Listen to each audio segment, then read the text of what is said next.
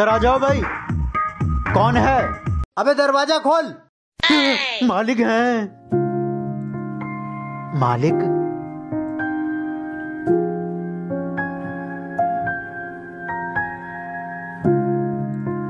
जहाँ जहाँ गंदगी है वहाँ कपड़ा मारो। जी मालिक।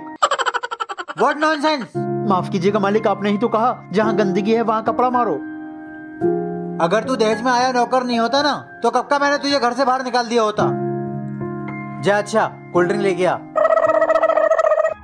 मालिक ड्यू लाऊं या पेप्सी पेप्सी ले आ। कांच की या प्लास्टिक की? कांच की। छोटी या बड़ी? नहीं चाहिए। जा गिलास पानी ला दे। ठंडा लाऊं या गरम? चल भाग यहाँ से। हुजूर धीमा भागू या तेज? अबे, रुक। अरे आप क्यों हर वक्त ईशू को सुनाते रहते हैं? तुमने सर पे चढ़ा लिया इसे? पागल खाने भेजूँगा। इसे। ईशू तुम जाओ।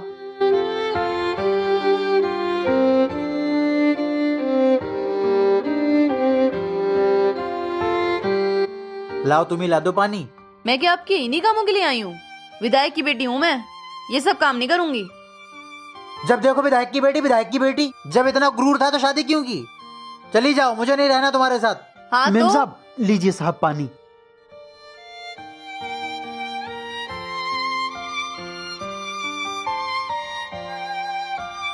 मेम साहब, रिश्तों में गुरूर घमंड नहीं होना चाहिए। दो दिल तब जुड़ते हैं जहाँ हम अपना नाम, अपना अहदा सब कुछ साइड रख कर चलते हैं।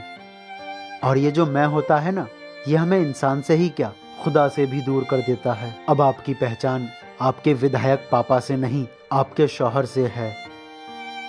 सॉरी, मैं विधायक की बेटी नहीं हूँ, आपकी वाइफ हूँ।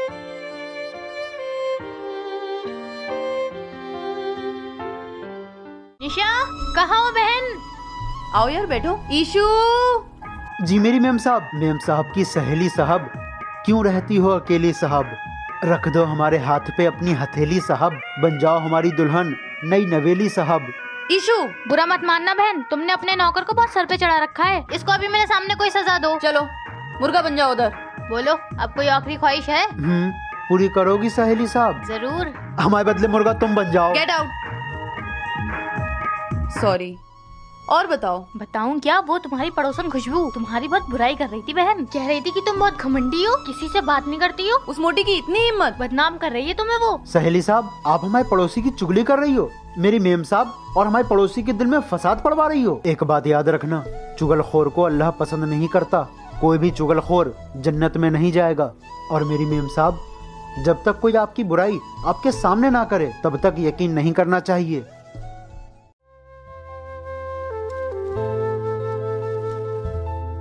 हेलो क्या कर रहे हो? यार ऑफ़िस में हूँ तो काम ही करता हूँ मुझे हैप्पीनेस की स्पेलिंग नहीं आ रही बता दीजिए।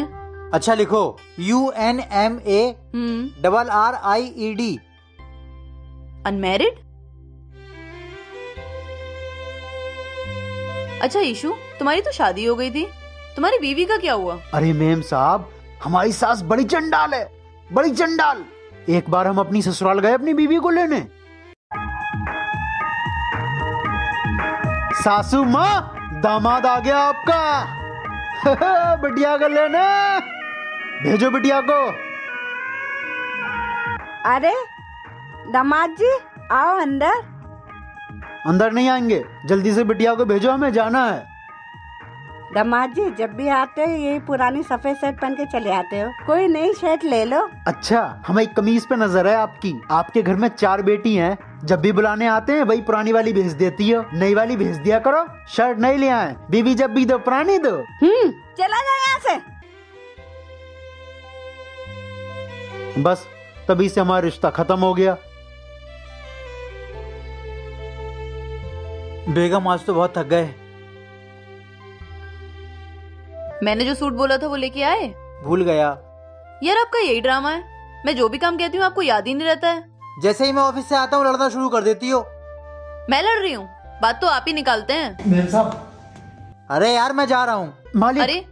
मेम साहब जब शोहर काम पे से वापस आए तो अच्छी सी स्माइल के साथ उनका स्वागत करना चाहिए। हो सकता है बॉस ने डांटा हो या बाहर किसी से लड़ाई हुई हो। बहुत थके हुए भी हो सकते हैं। ऐसे में आपकी एक प्यारी सी स्माइल।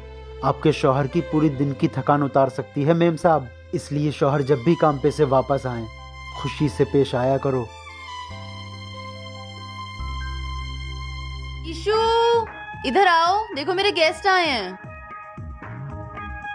जी मालकिन हाँ?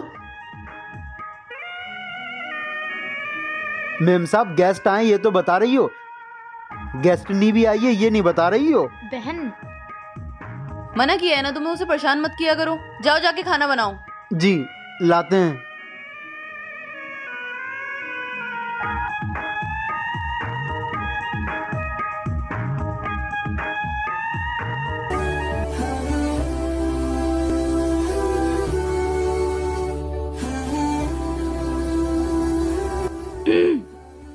टाइम क्या हो रहा है?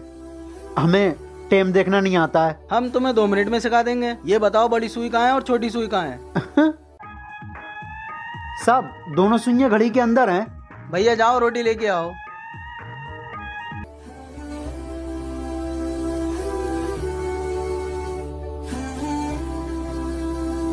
थैंक यू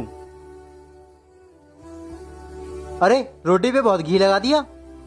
माफ़ कीजिएगा मालिक गलती से मैंने आपको अपनी रोटी दे दी। हाँ? रुक, तेरी इतनी हिम्मत। नौकर होके हमारे साथ बैठ गया। उधर जाके खाना खा, चल जा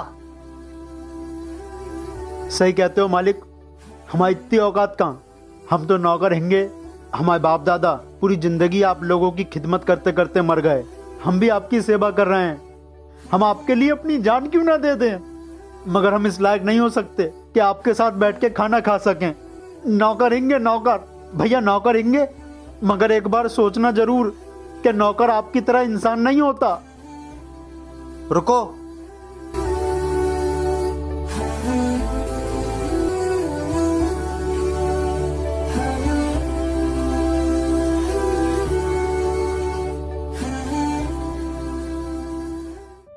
निशा?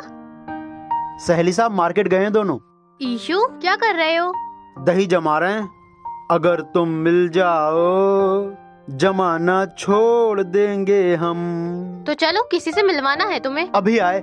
मालिक साहब के कपड़े पहन ले रहा हूँ। लग रहा है माँ बाप से मिलवाएगी। अब मेरी भी शादी हो जाएगी। तुम यहीं रुको मैं अभी आई।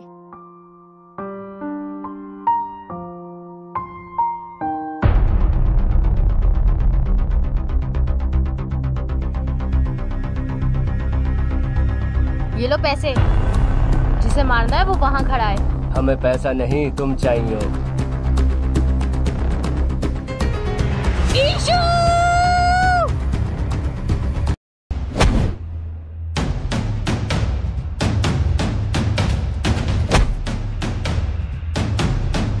मार साले को।